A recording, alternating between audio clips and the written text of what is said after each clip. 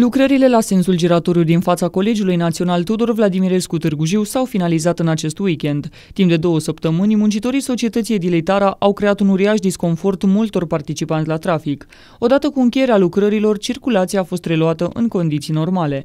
Marcelo Romanescu, primarul municipiului Târgu Jiu, declară că lucrările vor continua, următorul punct fiind sensul giratoriu situat în fața complexului energetic Oltenia. Edilul susține că își dorește reabilitarea completă a străzii ce pornește din intersecția secția cu Colegiul Național Tudor Vladimirescu până la Parcul Lido. A fost o lucrare extrem de amplă. Noi am mai făcut reabilitări în sensul generatorului de la Tudor Vladimirescu, dar uh, de data aceasta am schimbat toate gurile de canal. Cele 17 guri de canal au fost schimbate în totalitate.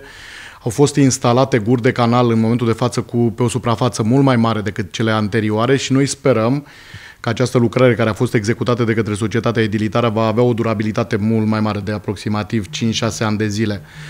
Uh, era nevoie de o astfel de intervenție, mai ales că intrarea în municipiul Târgu Jiu în mare parte se face prin acel sens giratoriu și nu era tocmai o imagine foarte bună a sensurilor giratoriu din municipiul nostru. Vom continua și cu celelalte sensuri giratoriu.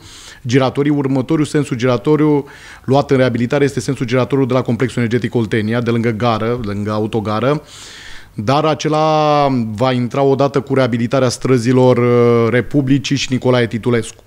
De la sensul giratoriu de la Lido până la sensul giratorului la Tudor Vladimirescu vom avea o lucrare foarte amplă, este în momentul de față în proiectare și în, pre, în perioada lunilor mai, iunie, iulie societatea edilitară va executa acea lucrare de, de investiții, pentru că, așa cum bine vedeți, pe acel tronson de uh, stradă au fost foarte multe uh, intervenții făcute de către cei care au introdus sistemul de alimentare pe bază de LED, după aceea de transportul în comun și de societățile Aparegio sau celelalte societăți care asigură utilitățile municipiului nostru.